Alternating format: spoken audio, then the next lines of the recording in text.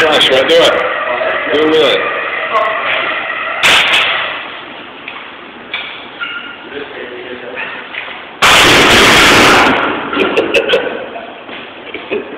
He just the wheelchair.